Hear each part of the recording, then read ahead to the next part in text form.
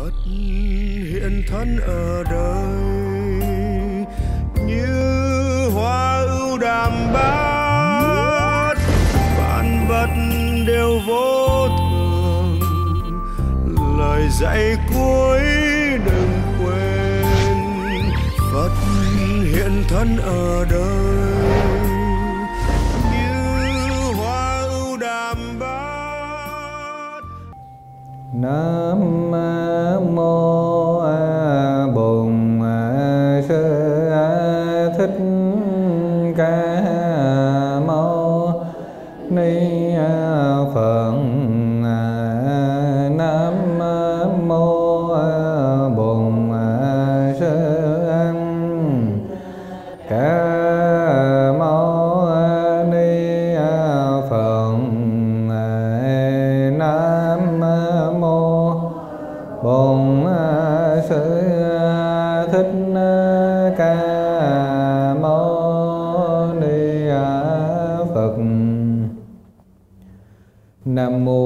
Bổn Sư Thích Ca Mâu Ni Phật Tác Đại Chứng Minh Kính thưa đại chúng Chúng ta biết thân thọ tâm pháp là bốn phép quán phổ biến ở trong Phật giáo, nhất là hệ thống Nam truyền Phật giáo thì thân thọ tâm pháp là một à, nền tảng vững chắc ở trong tất cả mọi loại tu tập hay là mọi phương thức tu tập. Người ta dùng nó một chữ khác gọi là thiền tứ niệm xứ.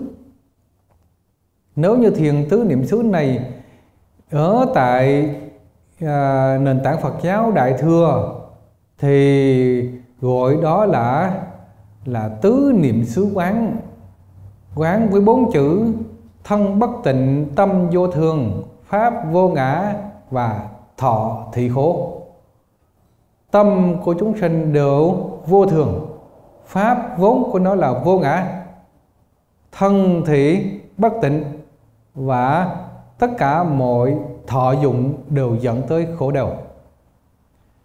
Bốn chữ đơn giản như vậy, nhưng chúng ta phân tích sâu xa, chúng ta mới thấy được và lợi ích của phép quán là như thế nào. Đầu tiên, các vị đã lắng nghe quán thân bất tịnh, tức là thân có 36 chất dơ bẩn và chúng ta đã nhìn nhìn thấy nó rõ ràng. Và thân của chúng ta hiện tại đây cũng như vậy 36 chất chưa bẩn hình thành lên thân này. Rồi thân này á, nó ừ, ờ, nó vốn là gì? Nó vốn là là từ sáu yếu tố đất, nước, gió, lửa, không và thức cấu thành. Đây gọi là phép quán giới phân biệt rồi trên cơ sở phép quán với phân biệt đó chúng ta nhận thức nữa nó đều là quá hoạn. Tức là nếu chúng ta trú vào trong nó thì nó đem đến chúng ta khổ đau. Bởi vì bản thân của nó là vô thường, mà vô thường thì mang theo mình đặc tính bức bách khổ não. Cho nên chúng ta thường hay tự tâm mình thường tự sinh phiền não sinh lo toan sinh sầu buồn. Đó là do tính chất của nó như thế tới thứ hai, bắt đầu chúng ta nắm đến yếu tố của thọ, thì chúng ta hiểu rằng năm giác quan tiếp xúc với ngoại cảnh. Đây chính là cái cấu trúc thường tình ở trong đời sống của chúng ta. Năm giác quan chúng ta nó luôn có xu hướng là phân biệt nhận thức ngoại cảnh. Một đứa trẻ sinh ra, bắt đầu nó cũng có xu hướng nhận thức rồi. Nó nhìn đông, nó nhìn tây, rồi nó lắng nghe, rồi nó tập mà EA nó tập nối theo đây là là cái trạng thái của gì của năm giác quan nó hướng ra ngoại cảnh để tìm kiếm cái đối tượng nhận thức của nó. Và nhận thức được ở trong nội tâm thành ra là yếu tố ý thức thứ sáu được hoạt động. Như vậy thì sáu căn tiếp xúc với sáu trần.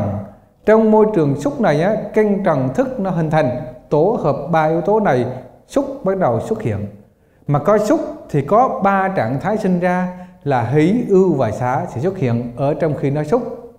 Xúc thuận thì sinh hí xúc mà nghịch thì sinh ưu mà xúc xá thì bắt đầu sinh buồn chán. Như vậy thì ba trạng thái này đều làm cho tâm chúng ta trở nên là ố nhiễm. Cho nên đây gọi là quán về và thọ. Và từ đó tại vì cái xúc ấy nó sinh ra thọ mà. À, và ừ, tại vì xúc là nó sinh thọ hiếu chữ chữ không à?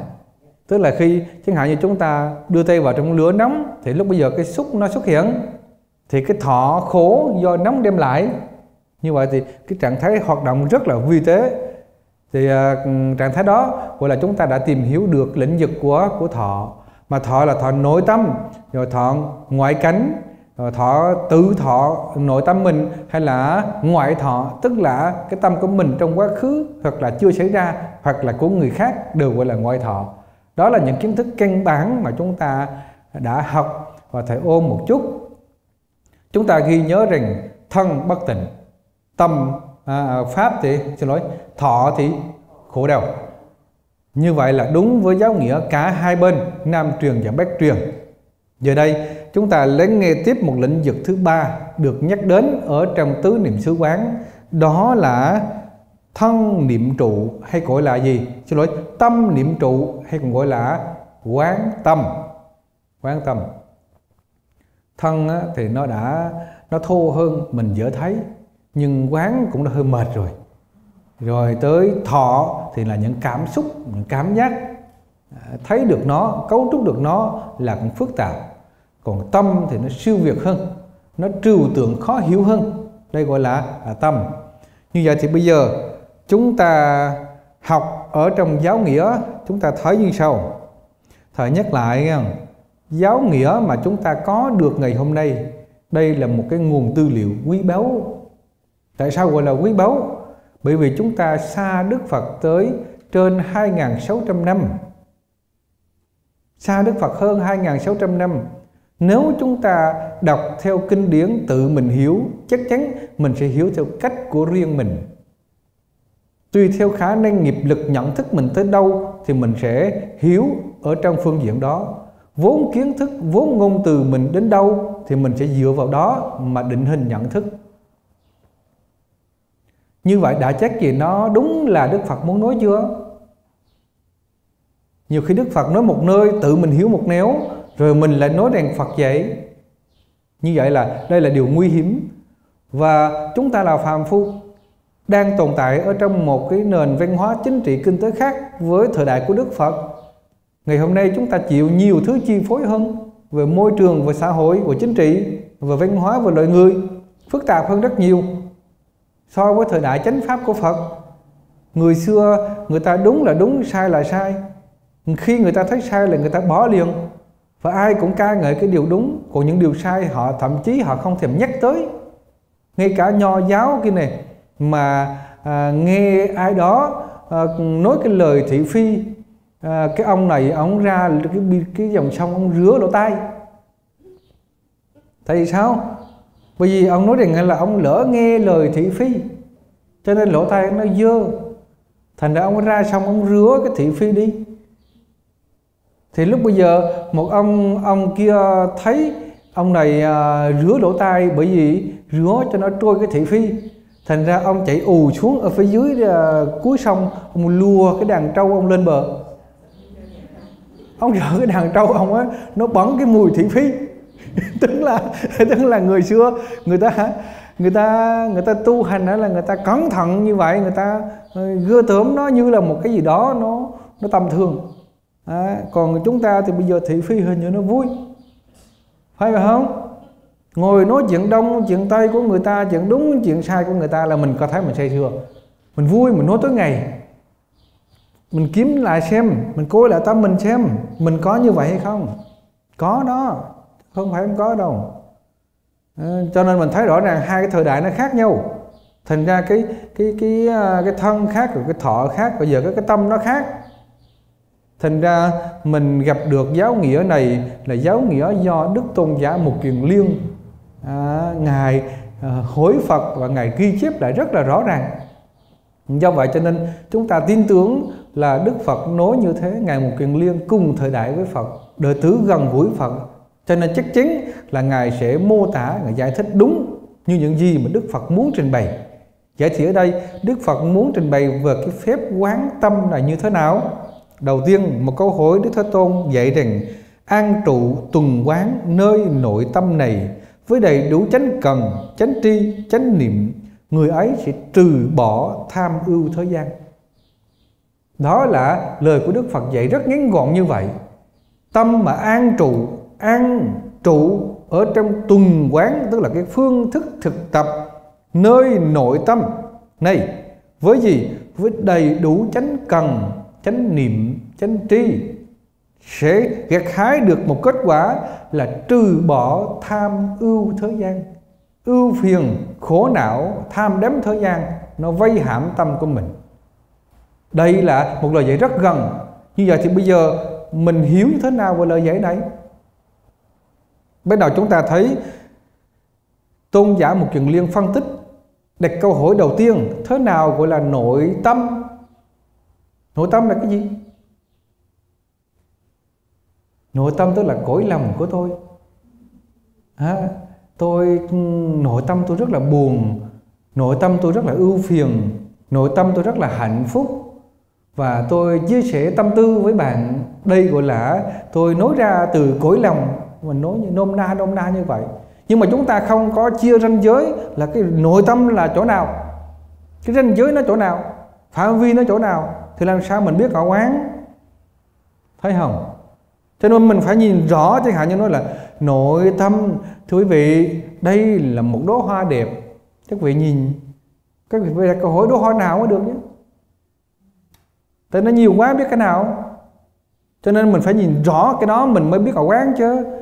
Chứ còn người ta cứ nói chung chung như vậy, làm sao mà mình quán chiếu được? Cho nên trong phương thức thực tập của thế tôn dạy xác định đối tượng quán phải rõ ràng chứ không thể nào mà chung chung được thành ra nội tâm của chúng ta là cái gì? Chúng ta cứ nói rằng à, những cái gì tồn lại mà mình có thể ghi nhớ được mình có thể cảm nhận được mình xem đó là nội tâm.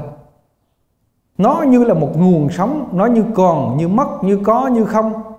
Nó như là vô hình vô bóng. Nhưng mà nó tạo thành một khối. Cái khối đó chính là mình. Và mình hình thành tự ngã ở trong đó. Rồi tức là mình tự mình bao vây. Rõ ràng đây chỉ là một khối khổ thú uống, mình không biết ra. Thành ra quán chiếu tức là phải nhận thức cái điểm mà thế tôn dạy tuần quán nội tâm. Nội tâm là cái gì? Nội tâm được ghi rất rõ. Đây là tự tâm ở trong chuỗi tương tục hiện đại, hiện tại đã đích mà chưa mất. Rõ không? Tức là nội tâm của mình trong hiện tại này, đang đích này, đã đích này mà chưa có mất đi, tức là mình đang duy trì được, mình đang tồn tại. Như vậy thì cái vấn đề quán chiếu là mình đang ngay khi ngồi thiền, đang ngay lúc này, đây chính là nội tâm của mình. Một cái ký ức đã diễn ra trong quá khứ, đó không phải là nội tâm của mình. Được chưa? Hoặc là, lát nữa đây tâm mình sẽ như thế nào? Không xác định đó là tâm của mình, mà tâm của mình ở trong hiện tại. Còn quá khứ nó vẫn là ngoại tương lai vẫn là ngoại, cái phòng cái vòng phạm vi của mình là ở trong tự nội này, tức là nội tâm này. Nắm được chưa? Nắm được cái vị trí chưa hả? Như vậy thì bây giờ quán là quán cái gì đây? Tức là ở đây Phật dạy này tức là đã đích mà chưa mất. Tức là nó đang hiện tại đây, chứ nó mất là thành quá khứ rồi. Thì quá khứ nó thuộc về ngoại tâm, chứ không phải là nội tâm nữa. Cho nên cái chữ nội tâm ở đây được xác định rất rõ là gì? Là tự nội là cái tâm mình ngay trong hiện tại này đã đét này mà chưa có mất đi. Rõ ràng như vậy nghe. Còn còn nói tới ngoại tâm ấy là gì? Là chưa đét và đã mất là thuộc ngoại rồi. Được chưa? Đang đét á, đang đét. Vậy mà ở đây nói là gì? Là là trong chuỗi tương tục hiện tại. Cho nên nói là đang đét là không có được. Tại sao? Bởi vì á không có cái gì là đang à, tâm quá khứ bất khả đắc tương lai bất khả đắc hiện tại bất khả đắc đang chỗ nào? Tại sao? Bởi vì cho nên mình nói là cái tâm hiện tại này nó là một chuỗi tương tục. Tức là nó luôn kế thừa những cái trong quá khứ đã diễn ra. Và nó có xu hướng là hướng tới tương lai. Nó là một cả một cái tổ hợp một chuỗi tương tục đang diễn ra. Cũng giống như là sự sống của chúng ta là một cái tổ hợp sự sống đang diễn ra đang diễn ra tức là chúng ta phải hít này thở này là cái nguồn dưỡng khí phải được cung cấp này, năng lượng sinh tồn được cung cấp này, đó, điều kiện sinh tồn được cung cấp này, cơ thể thân mạng được báo quán này bằng thuốc thang này bằng ăn uống này bằng à, quần áo này bằng à, bằng cái gì đó à, giữ gìn hơi ấm này như vậy thì rõ ràng ở đây là gì? Đây là là nó là một chuỗi tương tục chứ không thể nào mà một một một cái được bởi vì không bao giờ có một cái gì tồn tại độc lập. Nó là duyên khởi nó là luôn là một tổ hợp tồn tại à, liên kết với nhau. Nắm được chưa hả? Phải dùng trí tuệ của mình mà phân tích nhận thức tự tâm của mình trong hiện tại này. Để mình thấy nó là gì? Tại vì mình tu tập là mình trở về nhận thức tự tâm của mình.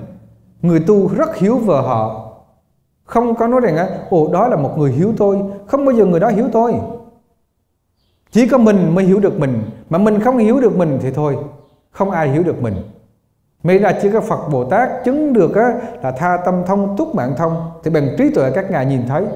Còn người tu bản thân mình phải hiểu mình. Mà muốn hiểu mình là phải nhìn, phải quán chiếu và chiêm nghiệm những gì diễn ra ở trong tự tâm của mình. À, như vậy thì phương pháp này á, xác định đầu tiên nội tâm là tự tâm trong chuỗi tương tục hiện tại đã đắc mà chưa mất. Định nghĩa rất rõ ràng để chúng ta xác định được. rõ chưa hả? à, hiểu được chữ là chuỗi tương tục trong hiện tại chưa? À, là một chuỗi một chuỗi tức là nó liên kết liên kết liên tục. À, ở trong hiện tại đã đắc mà chưa mất. Tức là cái tâm mình đang duy trì đây chứ còn lát nữa mình quên mất rồi thì không thể gọi là mình nữa. Rồi bây giờ chúng ta quán sát cái gì? Quán sát cái tướng của nội tâm. Quan sát cái tướng của nội tâm là cái bước đầu tiên. Như vậy thì khi mình thực tập phương pháp này bằng cách là tìm một chỗ vắng vẻ bất có tiếng động à, trang phục không có đỡ nó vướng thân à, thoải mái ngồi ngây ngắn, hít vào, chiêm nghiệm, thấy có một cái hơi thở đi vào. Và hơi thở chạm vào ở chỗ nào? Chúng ta cứ việc gom tâm ý mình ngay điểm chạm đó. Làm được không? Hít đi, hít thử cái xem. Có thấy nó chạm không? Có cảm giác được cái hơi thở chạm xuống không? Mình hít no vô là mình cảm cảm giác là cái hơi thở nó chạm có thể là nó còn cạn, nhưng mà mình cứ để ý nó chạm như vậy đó, từ từ từ từ á, nó sẽ sâu dần. Mình cứ để ý cái điểm chạm đó thôi. Và mình hít thở như vậy một lát, tâm ý mình bắt đầu nó gom lại. Nhưng mà trong khi nó gom lại như vậy á, đâu phải rằng nó theo ý của mình. Nó thích nghĩ gì nó nghĩ à. Nó thích chuyện nào chuyện kia tự động nó nhảy lên vậy đó. Mình không có chú ý được, mình không có loại trừ nó được mình gần như là bất lực ở trong cái trạng thái này. Nhưng mà mình có, mình hoàn toàn có khả năng là đi theo nó hay không đi theo nó. Nó khởi lên, mình hoàn toàn là có quyền không đi theo nó. Nhưng mình thấy nó không? Thấy chứ. Nó khởi lên là mình thấy và mình biết nó. Như vậy thì cái tướng của nó là gì? Cũng giống như bây giờ, một người đi vào ở đây, người cao, người thấp, người nam, người nữ, mình biết chứ thì cũng như vậy mình nhìn thấy tự tâm của mình nó khởi lên cái tướng gì? À, thì ở đây này bắt đầu Đức Phật nói là khi quán chiếu cái tâm này thấy bên trong mình tâm có tham. Ví dụ như bây giờ nó khởi lên một cái ý nghĩ là tham thì mình nhận ra tâm nó có tham. Nó có tham cho nên nó đi kiếm cái này kiếm cái kia nó tham đấu kiếu năm món nó tham mạnh nhất đó là tiền tài sắc dục, danh vọng, ăn uống và ngu nghĩ có nhiều người không biết được ở trong tâm mình có tham. Cho nên họ nghĩ rằng cái món đó là món họ cần và món đó sẽ giúp cho họ hạnh phúc. Cho họ không biết rằng đó là do tham nó dẫn dắt. Thành ra, người quan chiếu họ nhìn thấy tâm mình có tham. Cái tâm tham là tâm gì? Là cái tâm mà nó thủ đắc năm món dục để làm lợi ích cho nó mà có chiều hướng gây tổn hại người khác. Đây gọi là tham phải không? À, như vậy thì tâm có tham. Lúc bây giờ mình ghét cái tâm đó mình bực bội hay sao? Nếu như mình ghét khởi niệm ghét thì lại sinh ra ti thêm ở tâm ghét. Còn nếu như bực bội thì lại khởi ra cái tâm bực bội. Cho nên mình không làm điều như vậy. Trong lúc đó mình chỉ biết rằng tâm mình có tham. Tham lúc bây giờ nó như là một cái áng mây hiện ra vậy thôi mình biết. Như vậy thì tâm mình lúc đó mình là giác là biết còn tham kia là cái đối tượng bị mình biết bị mình phát hiện. Đó không hả? Có hình dung được không? À, điều này rất là đơn giản. Hay là khi mà cái tâm mình đó nó nó ly tham tức là không tham nữa từ bỏ cái tham từ bỏ cái tham. Thì lúc bây giờ mình biết tâm mình đang ly tham à, rồi nếu như tâm mình nó không có hiểu biết gì cả không thấu hiểu có những đạo lý mà mình nghĩ hoài không ra thì lúc đó mình suy nghĩ mình biết rằng trong tâm mình nó si mơ mình biết là tâm mình đang si mơ biết như vậy không khó chịu không bực bội. Tại sao mình quên đi? Là do mình thiếu trí. Mình bực bội lên thì cái sân lại khởi lên nữa. Mình không làm như vậy mình chỉ biết rằng á là tâm mình si không ghi nhớ rõ lĩnh vực này không biết rõ lĩnh vực này. Đây gọi là tâm si đang tồn tại. À, có hôm thực tập. Xin lỗi các vị. À, có hôm thực tập thấy tâm mình đã sáng. Mình nghĩ cái gì cũng nhẹ nhàng nhớ cái gì cũng nhẹ nhàng. Đây là biết tâm mình đang thông tuệ đang đang sáng chứ không có si. Nhận được chưa? Như vậy thì thiền là gì? Là một trạng thái thông dung tự tại, chỉ ngồi im đó mà nhìn thấy cái tâm mình nó khởi lên cái gì. Nếu như nó không khởi lên gì hết thì mình quay trở lại với vấn đề của mình là để ý vào điểm chạm của hơi thở. Hít vào, thở ra. Hít vào, thở ra. Nó nhảy lên một ý nghĩ, mình biết ý nghĩ đó là được rồi. Không có đi theo nó, không phân tích thêm không có truy tìm nó là cái gì, cũng không thương, không ghét gì nó cả. Chỉ quay trở lại với công việc là nhìn điểm chạm hơi thở. Được chưa? Điều này có khó làm không? Không khó đâu, chỉ không làm thôi chứ không khó đâu. Không rồi cho tìm thời gian, phải tìm thời gian để làm. Công phu nó mới phát triển được năng lực, còn không chịu công phu là không được.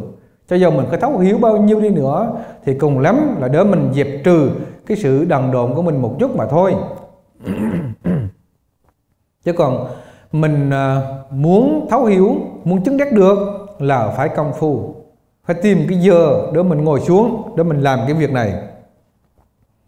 Tiếp theo, nếu như trong tâm mình mà ly si thì như thật biết ở trong tâm ly si.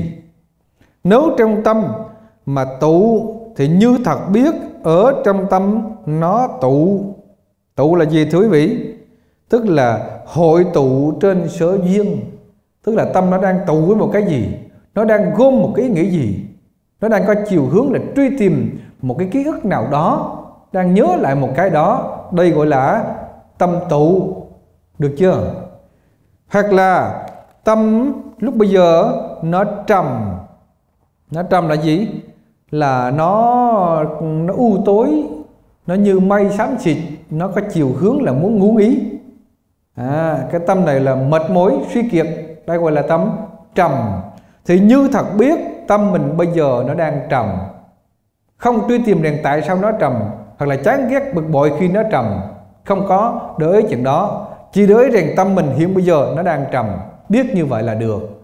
Rồi tâm nếu như là là là tâm sách tấn tức là tâm siêng năng. Thì biết rằng tâm mình đang siêng năng. Tất cả mọi loại tâm diễn ra mình đều biết đây gọi là quán chứ. Quán tâm thì có cái gì diễn ra trong tâm mà mình không biết. Tâm uh, tiếp theo là tâm tiếu. Tâm tiếu là gì? Là cái tâm mà nó nó nó rất là ít phước giống như là nó có được một cái chút phước thôi. Nó nghĩ là đủ rồi. Cái tâm này gọi là tâm tiếu đó à, nó ít nó ít có cái phước báo thanh tịnh. Thì biết trong tâm mình á nó nhỏ hẹp. À, rồi à, tâm ở trong nếu như là quán đại thì biết trong tâm là là quán đại nó có khả năng hành động mạnh mẽ. Mình biết rõ trong tâm quán đại. Nếu như trong tâm lúc bây giờ nó có tính chất là hay trạo cứ hay trạo cứ tức là gì? Tức là là cái tâm mà nó bốc cao như bụi vậy đó nó bốc cao như bụi.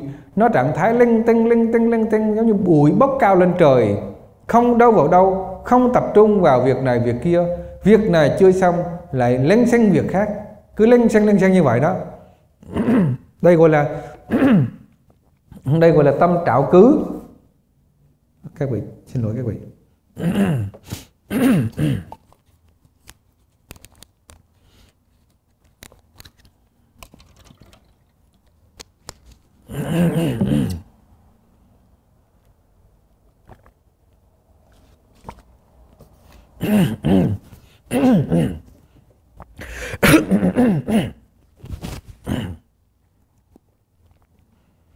trở lại vấn đề. Cho thầy à, chia sẻ chút xíu cho cho nó cố nó trở lại bình thường mới giảng được. Ngày nay hít bụi nhiều quá. À, tham gia với mấy chú công việc chút xíu và nó có bụi. Rồi à, cái ngồi suy nghĩ. Ngồi suy nghĩ nó cũng một cái dạng tướng tâm á. Nó cũng là một dạng tướng tâm mà tướng về một chương trình 7 ngày à 8 ngày. Tướng vào một chương trình 8 ngày. 8 ngày là bắt đầu từ 3 giờ chiều ngày 2 ngày ngày 29 ở tại Bồ Đề Phật Quốc. À, cung đón chư tôn thiền đức tăng ni rồi cung đón Phật tứ rồi chuẩn bị mấy chiếc xe bus để chạy lên nó đi ni viện nó lạc thành. Rồi cái chương trình đó sẽ như thế nào? Ai làm mc chỗ nào tiếp khách? Rồi cái nghi thức lạc thành nó hơi lạ một chút á, là thầy sẽ tổ chức tuần chiếu xung quanh á, cái miếng đất với một con đường đi. Phải đi như thế nào? Ai đi trước đi sau? Làm cái gì? Tụng cái gì? Niệm cái gì? Rồi rồi, nghe rồi quay phim làm sao? Rồi cánh gì cánh gì? Rồi tác bạch thưa thính. Ở trong cái nghi thức mà tác bạch thưa thính ờ, xây dựng á, lạc thành đó là nó phải là bạch là bạch tứ yết ma, chứ không phải là được bạch tam hay bạch nhất. Ờ, yết ma đây là những cái phép mà trong luật tạng quy định, bạch tứ yết ma. Tại vì thầy có quay ờ, video phát trên truyền hình không khéo các nhà luật luật sư của Phật giáo họ nói thầy Quyền Châu, dám diện mà chẳng biết luật thì chết nữa. Cho nên phải y cứ vào trong luật để mà tác bạch thính đúng như là Đức Phật chỉ định. Và khi mà một cái đất già lam tôn tạo lên là phải bạch tứ yết ma như thế nào? Rồi công việc đó bao giờ xong? Xong rồi nguồn tài chính cúng dường như thế nào? À, xong một ngày rồi ngày hôm sau bắt đầu tại bộ Đề Phật Quốc là diễn ra một ngày. Một ngày là sáng. Mấy giờ mấy giờ? Làm cái gì cái gì? Rồi tổ chức chương trình pháp hội à, 8 ngày để mà lễ sám để thọ giới để hộ niệm giới. Rồi á tới 3 giờ chiều thì văn tập chư tăng như thế nào? À, làm lễ Phật đáng sau lễ Phật đáng đó thì tới cái lễ là 4 giờ là làm lễ thế phát xuất gia. Rồi tắm Phật. Rồi mọi việc thế nào? Chư tăng có thể khoảng 120 vị sẽ tham dự cái chương trình đó. Đó. rồi ngày sẽ mấy ngày sau ai giảng cái gì ai nói cái gì à, miết cho tới khi à, truyền giới thì tam sư thất chứng ngồi ở tại chỗ đây. Ông nào nói câu gì trước câu gì sau? Ông nào nói câu gì? Lần trước cái giới đàn lần trước có mấy câu chưa hay? Hôm nay phải sửa lại. À, như vậy vậy đó. Là một hơi vậy sáng tới trưa cái đầu nó muốn hơi thay đường. Hơi thay đường cái đi ra đi ra à, ừ, à, lo công việc công việc cái sáng giờ lo cung kính. Chạy lên chỗ kia cái ông chú kia thầy á, là cái số thầy á, là cái số khổ nhưng mà nó cũng có cái phước riêng tức là ông chú đó ông bỏ cái kho cái kho bán gạch đấy ông bỏ ông nghĩ ông không làm nữa. Và còn rất là nhiều gạch tốt còn rất là nhiều đá granite đẹp lắm. Ừ, và và à, cái kho nó bụi bặm dơ lắm rất là bụi móc trong đó nhiều lắm. À, mà thầy thầy lựa thầy vô thầy lựa. À, mà thầy, à, thầy cái ông này ông có cái bệnh tức là ông cho nhưng mà khi mình xin cái đấy thì ông lại nghĩ nó bao nhiêu tiền là thầy biết ở trong đầu ông nghĩ cái gì? Thầy biết cái ông này nghĩ nghĩ ra nhiêu tiền. Thầy bao nhiêu tiền chú? Thì ông nói liền. Tức là thầy biết ông nghĩ nhiêu tiền. Tại vì cái người buôn bán họ quen. Họ quen cái món đồ đó là họ nghĩ cái giá trị của nó. À, thì um, những cái món mà uh, quý ấy, là ông lơ lơ ông không muốn cho. Không cho. Và ông còn nghĩ rằng là lơ lơ ông không muốn cho. À, thầy biết ông không muốn cho. Không cho thầy đi vòng vòng. Và thầy quay lại thầy nói nhưng mà chùa thì món đây với giờ cái kia đâu được. Dạ cái ông nghĩ ông già dạ, sao cũng được. Dạ cái thầy, dạ cái thầy lại lấy. Tức là nó khổ vậy đó. Mình phải biết cái cách để mình, mình lấy. Mà thầy lấy tới khoảng 10.000 square feet. À, cái cái sàn á 10.000 square feet thầy lấy cả chánh điện. Sau này rồi cả nhà ăn nhà bếp rồi này là đủ thứ hết nhà kho là lấy đủ 10.000 square feet thôi chứ không lấy nhiều. Nhưng mà những có một có món á, thì 3.000 4.000 mình phải hình dung cái design thế nào? Như thầy nói cái đây này được hả chú? Cái này à, ông nói cái này ba ngàn mấy đứa thầy cho cho chỗ khác cái chỗ đây nó thiếu thì sao? Thì thầy nói này nghe là thầy sẽ thầy sẽ design mấy cái loại khác vòng vòng tròn tròn này nè. Là tự nhiên là nó nó nó sẽ đủ thôi. Tức là mình nói vậy để cho hiểu cách và đem uh, kiếm xe thuê xe rồi chở về. Um, chở về đây mà chưa chưa hết.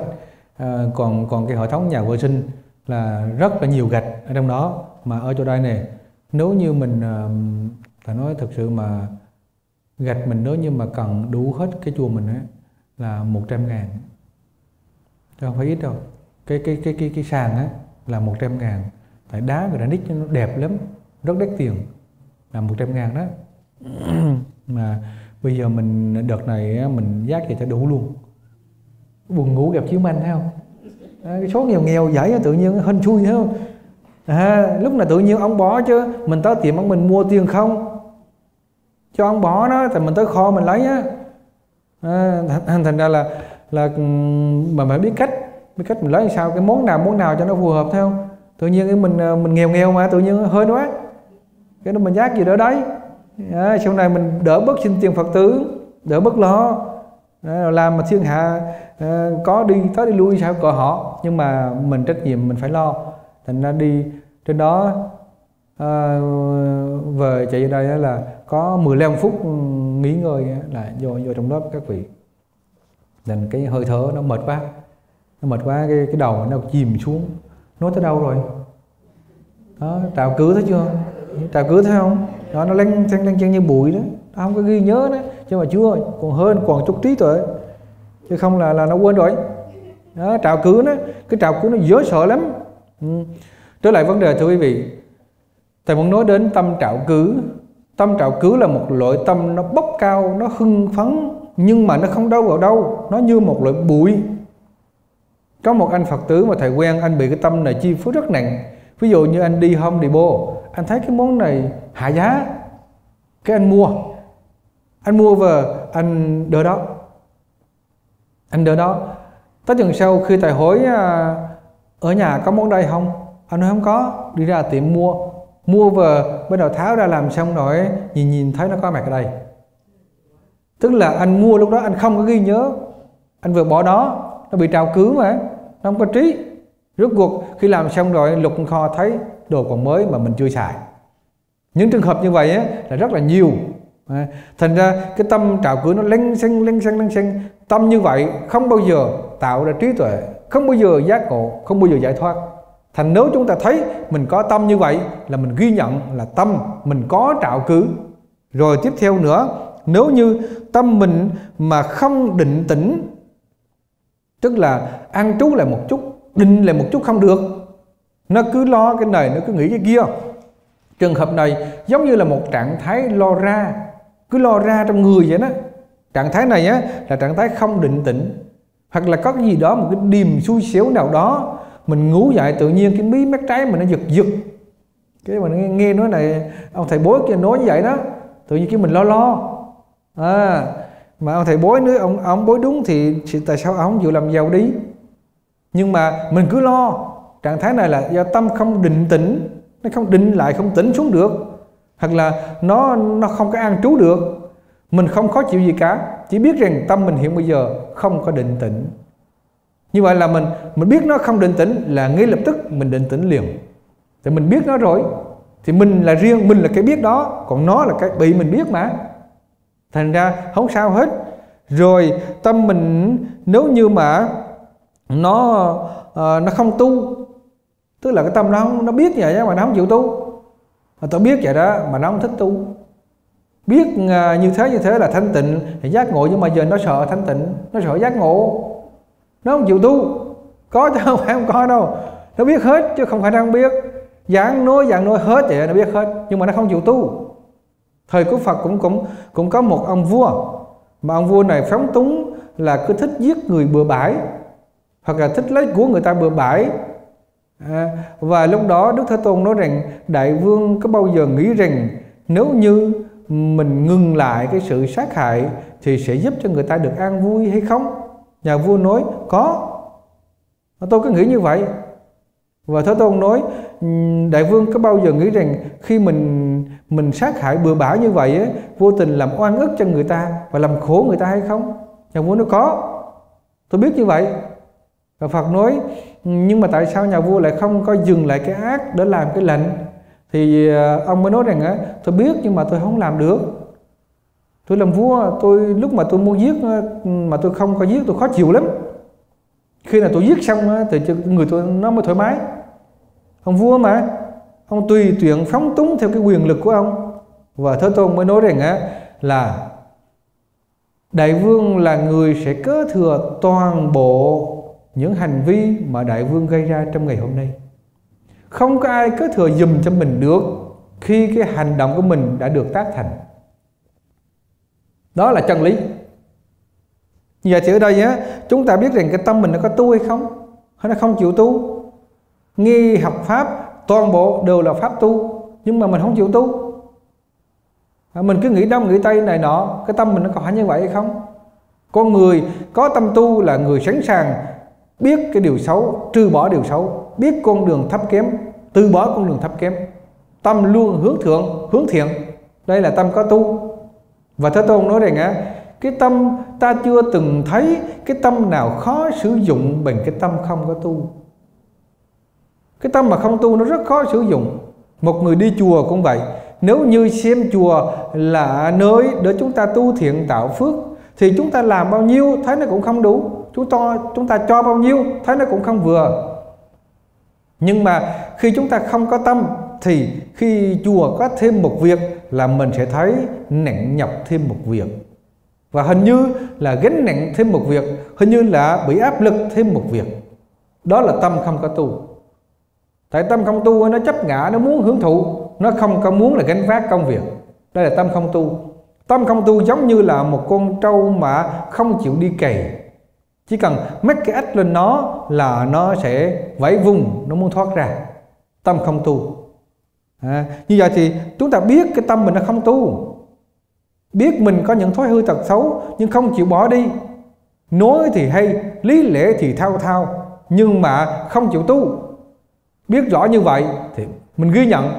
Rồi nếu như tâm mình mà không giải thoát thì chúng ta biết tâm mình nó không giải thoát tức là nó bị phiền não, nó bị bao nhiêu thứ ô trượt, cứ lôi kéo dẫn dắt mãi, không giải thoát được. Như vậy thì thưa quý vị, đó là những cái loại tâm mà nó diễn ra trong khi chúng ta hành thiền. Thầy xin nhắc lại giáo nghĩa tôn giả một kiện liên nhắc chúng ta rằng, nếu như một hành giả tu tập thiền quán nội tâm, tức là quán cái tướng của nội tâm, thì bây giờ trong lúc đang hành thiền thấy tâm có tham, biết rằng tâm có tham nếu như tâm ly tham, nhận thức rằng tâm ly tham.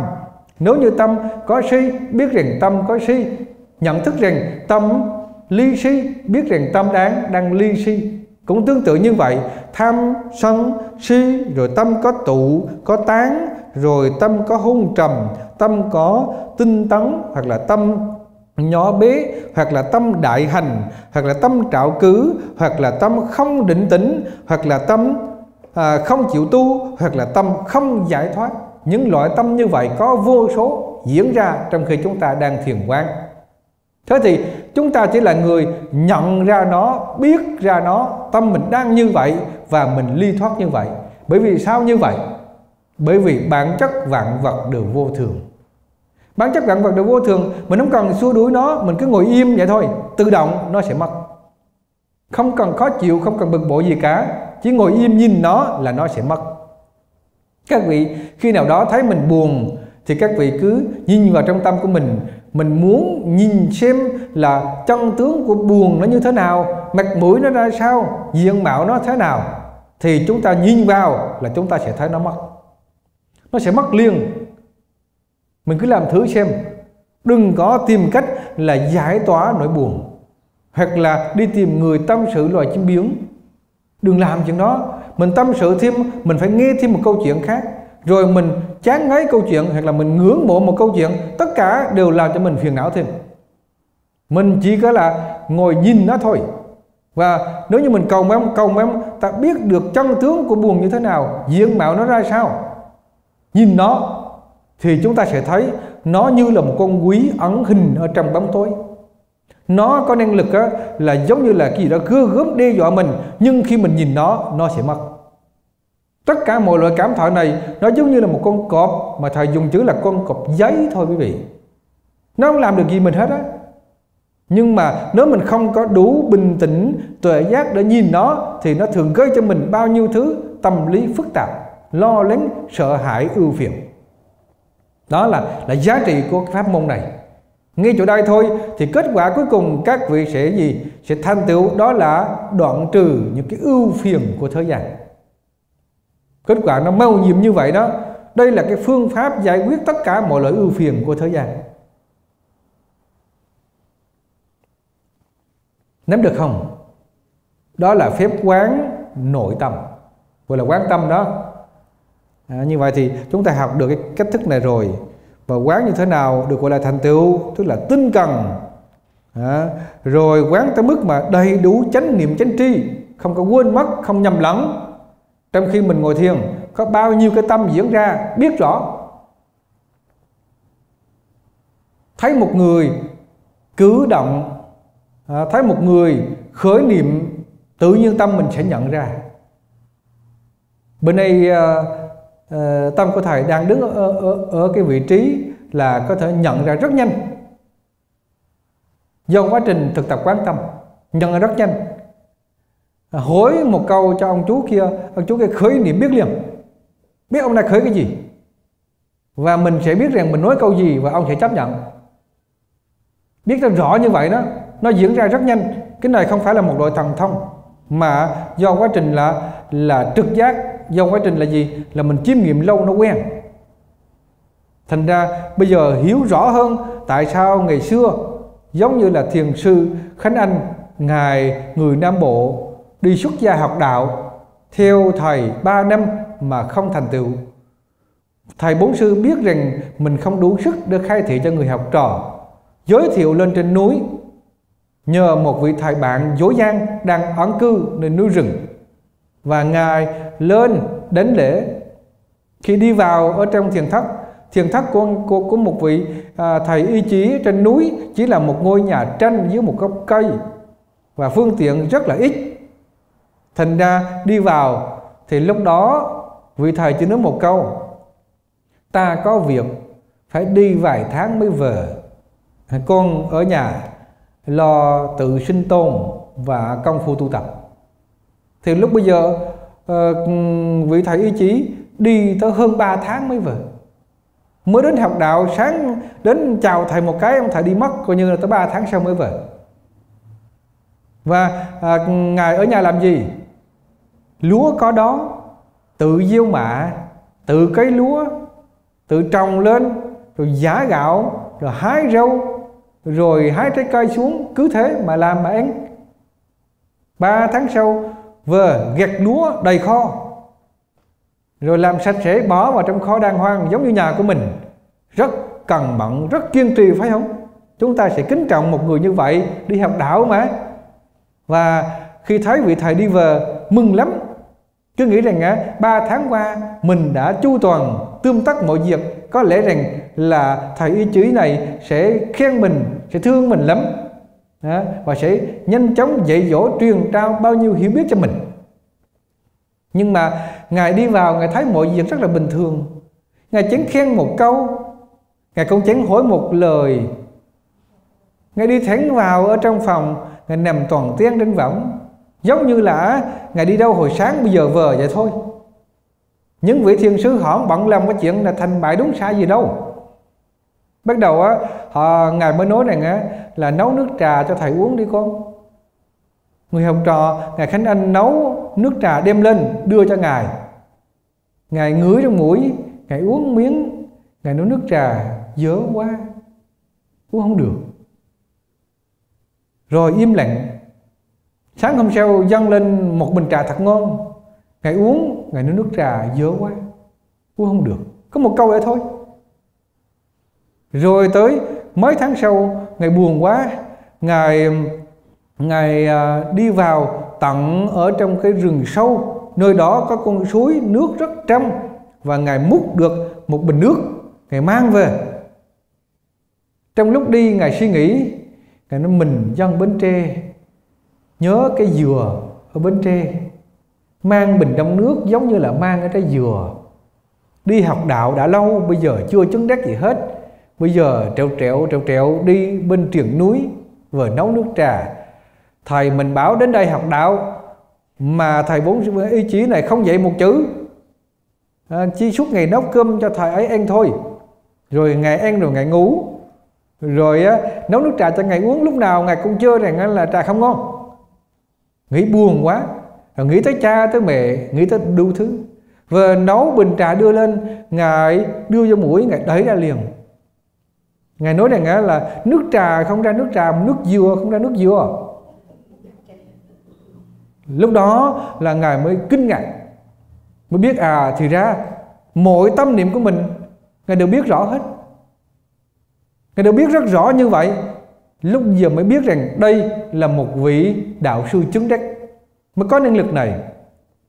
Bắt đầu ngài cần cầu học pháp, nhưng mà hoàn toàn không có dạy, không nói gì cả cứ thấy thầy làm sao thì mình làm vậy làm tới 3 năm sau hôm đó ngài à, buồn quá ra ở ngồi ở ngồi sân ngồi trên cái phiến đá nhìn một đêm trăng sáng.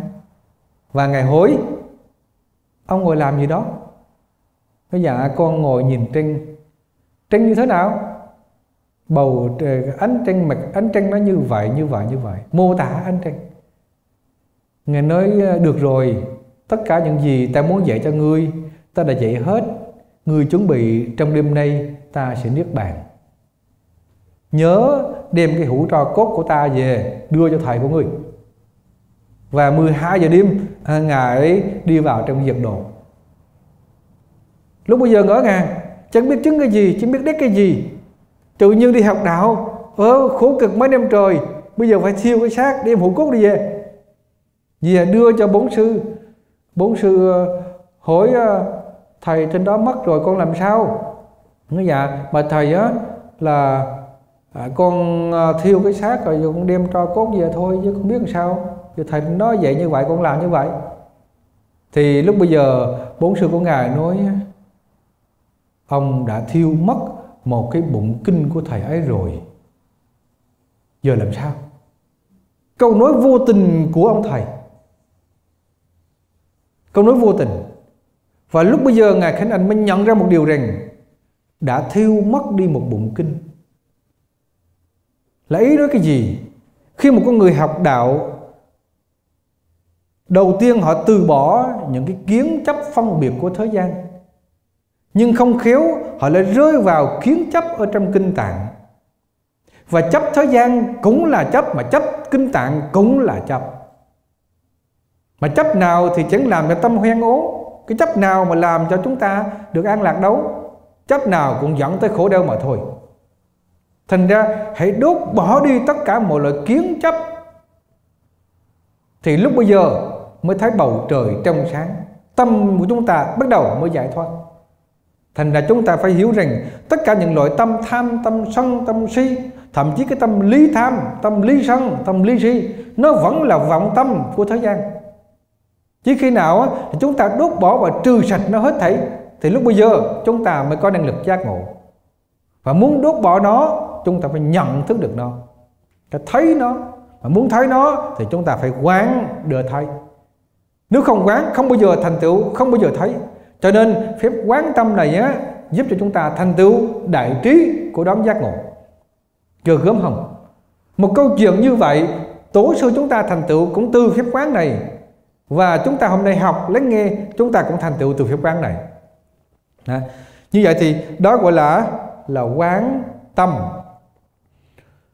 hơn thế nữa chúng ta ghi nhận một điều nữa đó là quán nội tâm quá hoạn Quá hoạn là gì?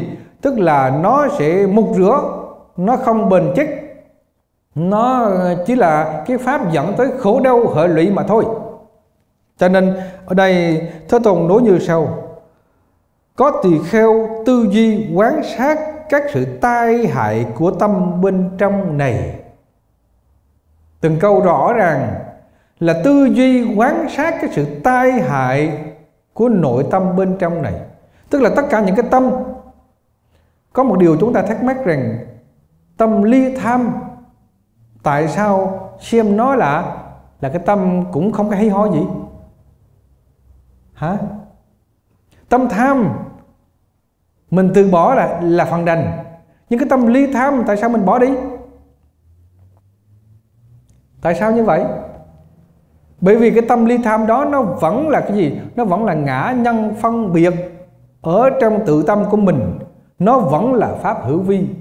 Mà đã là pháp hữu vi, là pháp hữu lậu. Pháp hữu lậu là cái pháp hèn ố. Nó không phải là pháp chứng đắc thành ra chúng ta học ở trong ờ, câu xá các vị có học đó. Nói rằng là là à, tâm ờ, ý cận hành mà hữu lậu và vô lậu đó. Ý cận hành đó là cái tâm ly tham đó. nó là một ý cận hành. Nó vẫn là gì? Nó vẫn là hữu lậu. Chứ không phải nó vô lậu nghe mà đã hữu lậu là nó có sinh có diệt. Có sinh có diệt là có khổ trong đó. Thành ra chỉ khi nào trừ bỏ hết là mới được cũng giống như là người qua sông thì phải cần thuyền. Nhưng mà cái tâm ly tham nó giống một chiếc thuyền thôi. Nếu như mà ngồi lên chiếc thuyền đó ngồi hoài thì làm sao bước lên bờ bên kia? Cho nên cái tâm ly tham đó cũng phải bỏ. À, đến đó thì chúng ta mới quan sát và thấy rõ cả hai phương diện. Tức là là những cái pháp mà đọa lạc thì phải bỏ rồi. Mà ngay khi sử dụng những cái phương thức mà để giải thoát cũng phải bỏ luôn phương thức đó. Cũng giống như là quên ngón tay để thấy mặt trăng. Nếu mình chưa? Rồi. Quán chiếu cái tâm này giống như gì? Giống như bệnh, giống như nhọt. Nó bệnh là nó khổ rồi, nó phiền não rồi. Như nhọt, như cái mục nhọt như vậy mà ai ưa nó nó nhức nhối. Cái tâm đó nó nhức nhối. Cốt tủy gốc rễ để sinh ra phiền não chúng ta hiểu cái tâm mình nó cao, nó thấp nó thanh nó trầm nó ly nó ám. Do cái sự gì? Do cái tâm nó biến hóa phức tạp ở trên những tình huống khác nhau như vậy. Nền tảng đó khiến cho phiền não phát sinh. Phiền não nó sinh ra trong môi trường đó. Có hình dung được không à chẳng hạn như bây giờ chúng ta à, à, à, chiều nay chúng ta lái chiếc xe chúng ta đi về à, chúng ta đi trên xe vui quá chúng ta ơ a chúng ta niệm những câu phật.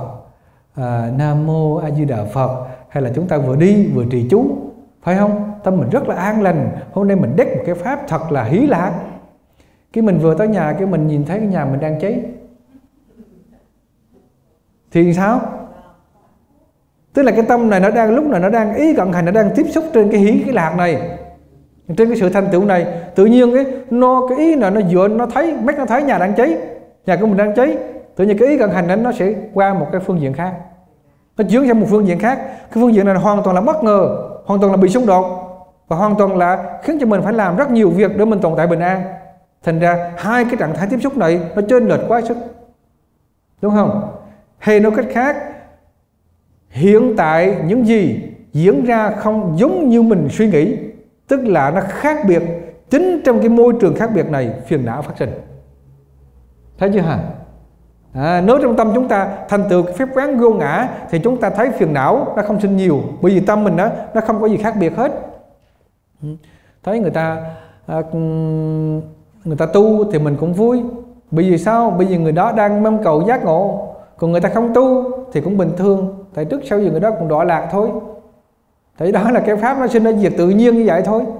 Mình không thể nào làm khác được, không thể nào níu kéo nó được, không thể nào giữ chân nó được. Dạng pháp nó sinh ra một cái tự nhiên như vậy. Thành ra, đó gọi là quán chiếu tâm mình đang là gì. Nhờ đó mà mình giác ngộ.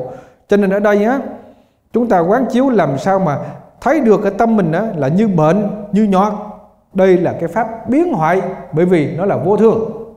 Không có cái gì là tồn tại vĩnh viễn. Nó biến hoại mà nó vô thường. Và khi tư duy sự tai hại của tâm như vậy, thì sao? Thì bắt đầu á, là cái sự trạch pháp phát khởi. Trạch pháp tức là lựa chọn cái pháp giải thoát sẽ phát khởi trong tâm. Chỉ khi nào chúng ta ý thức được lửa nó cháy, mình sẽ chết. Cho nên mình sẽ không bao giờ muốn đưa tay vô lửa. Đúng vậy không à? à tại vì sau khi mình đã ý thức rõ rồi thì mình không dạy gì còn khi mình chưa ý thức rõ thì mình sẽ nhầm lẫn. Và cái sự nhầm lẫn đó do đó cho nên mình hành động sai lầm. Ừ, có một ờ, có một vị thầy giảng như thế này.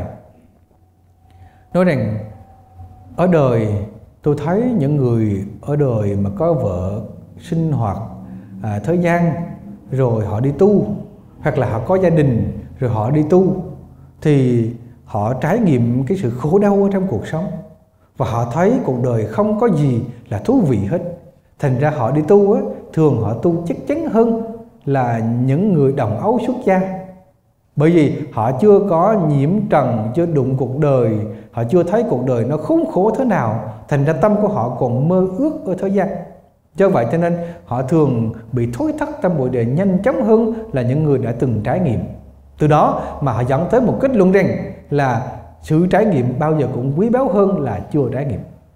Đúng không? Họ nói nói nói nói như vậy chúng ta thấy chúng ta thấy như vậy. Nhưng mà thầy hỏi các vị như thế này là à, các vị đưa tay vào ô điện nó giật các vị có chết không? Các vị chưa chết rồi sao biết nó chết hay vậy? Phải không? Tại vì mình thấy rõ là có nhiều người chết. Có nhiều người đưa tay vào điện nó giật cái đen thui là chết chết phải không? Như vậy mình đã biết rõ như vậy như vậy rồi. Mình đâu có đâu có ai thay đổi được cái biết của mình được nữa. Mình đã nhận thức một cách sâu sắc tường tận như vậy rồi. Mình có dạy gì mình đưa tay vô điện không? À, tại vì mình biết nó chết thì dạy gì đưa tay vô điện. Cũng như vậy một người chưa nhiễm trần đâu có nhất định gì phải nhiễm trần mới biết rằng là nó nhiễm như thế nào. Đâu có nhất định là phải đưa tay vào điện nó giật lúc đó người ta mới có kinh nghiệm người ta bằng trí tuệ, người ta cũng biết nó giật chết vậy thôi. Phải vậy không à? Thành ra lý luận như vậy đó là trí tuệ. Còn nếu không khéo là chúng ta sẽ nhầm lẫn ở trong tư duy. Rồi, khi một khi đã nhầm lẫn rồi là cái tư duy nhầm lẫn khác nó sẽ sinh ra. Và chúng ta cứ thế, chúng ta bị nó dẫn dắt, bị trôi lên cho nên những điều này thưa quý vị, chúng ta quán chiếu để biết rằng pháp nó đều vô thường. Mà hỡi vô thường là khổ. Bởi vì Thế Tôn nói, tất cả các pháp hữu vi vô thường nó vô thường, nó mang theo mình một đặc tính, đó là bức bách khổ não. Do vậy mà chúng sinh không ai có hạnh phúc ở trong pháp vô thường. Điều này Thế Tôn nhận thức khi ngài chưa xuất gia. Ngài chiều đó nhìn thấy một người già chết đi. Khi về nghe vợ mình sinh một người con, lập tức ngài biết rằng có một chúng hữu tình vừa chết đi và có một chúng hữu tình vừa mới sinh ra và ngài biết rằng cái chúng hữu tình sinh ra này, nó cũng sẽ bị chết đi. Bởi vì dặn vật vốn là như vậy. Và ngài nói, không ai chống lại nổi cái định luật này. Không ai thoát ra khỏi sự chi phối của nó cho được. Bởi vậy cho nên, ngài phải đi tìm một cái giải pháp bất tử. Một con đường chấm dứt thật sự để cứu tất cả những người thân thương của mình. Bằng cách nào đây? Ngài chưa có con đường. Nhưng biết rằng ở thế gian tất cả không thể nào đi được, không có được quyền lực không có giúp được, gia đình không giúp được. Sự ờ, an sung mặt sướng đầy đủ của một ngôi vị đế vương, ngài đều thấy rõ. Ngài xác định nó không dẫn tới kết quả giải thoát. Thành ra, ngài mới thấy rằng vậy thì chỉ còn nguồn tuệ giác để tri kiến của những người tu hành. Thành ra, ngài mới đi chu du khắp mọi nơi để cần khổ lý tưởng cuối cùng của ngài đó là giải thoát không thay đổi. Thành ra, rốt cuộc cũng không có có giải giải quyết được. Cuối cùng, ngài từ bỏ các vị thầy, các vị đạo sư, đi vào con đường khổ hạnh. Khi đi vào con đường khổ hạnh, ngài không quên cái mục đích của mình. Ngài biết chắc rằng tham, sân, si, đó là những cái điều lớn, nó thường hại cho mình nhiều nhất. Cho nên không đỡ cho tâm tham, không đỡ cho tâm sân, tâm si khởi lên do vậy mà ngài khổ hạnh tới mức mà mà trên thân của ngài chỉ cần á là va quẹt một chút xíu ờ, một cái cọng gai thôi thì á, nó không có có lành được. Bởi vì cơ thể nó thiếu thực phẩm trầm trọng. Không có một cái nguồn năng lượng nào để giúp cho ngài lành cái vết thương nhỏ tới mức như cái cây gai nhọn đâm phải.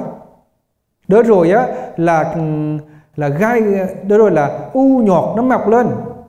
Phật nói rằng này các tỳ kheo à, những cái sợi lông xanh mượt trên thân của ta chỉ cần đưa tay à, xoa qua một cái nó đều rơi rụng.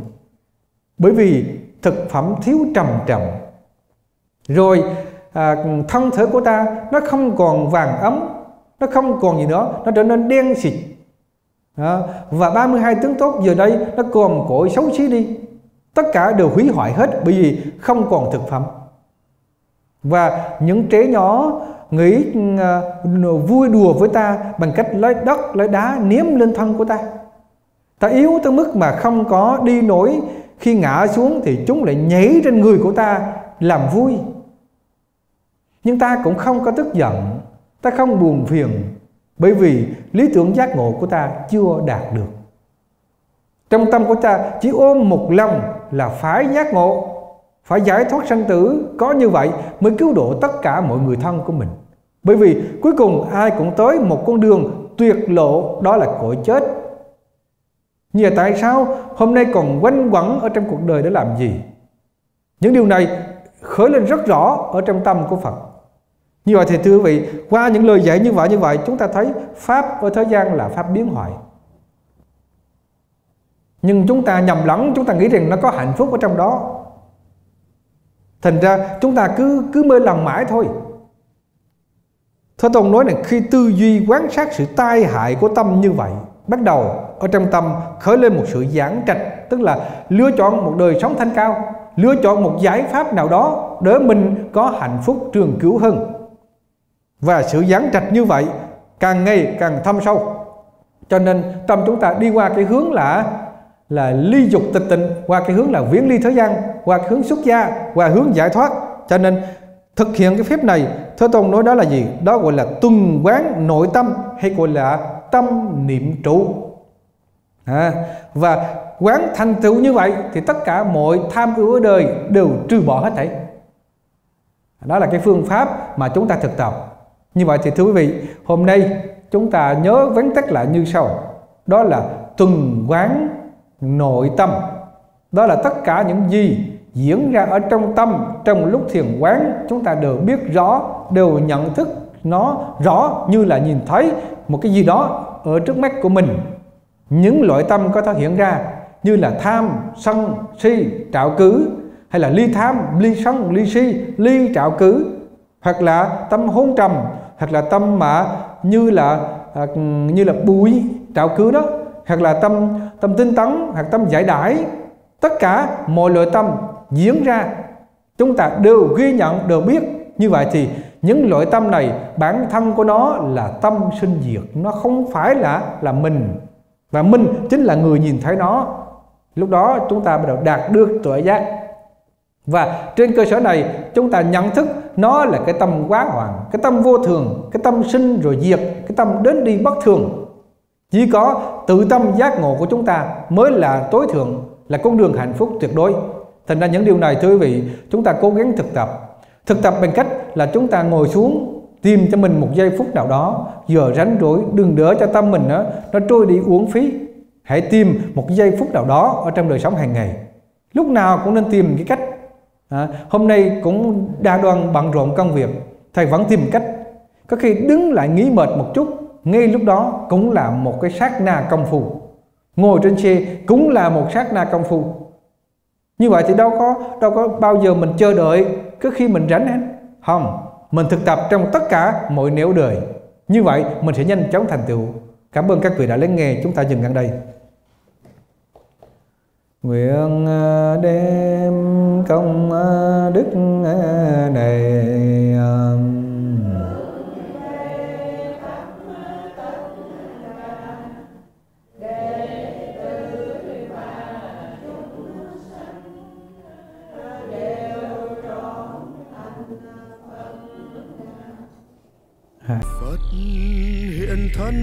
đời như hoa ưu đàm bát.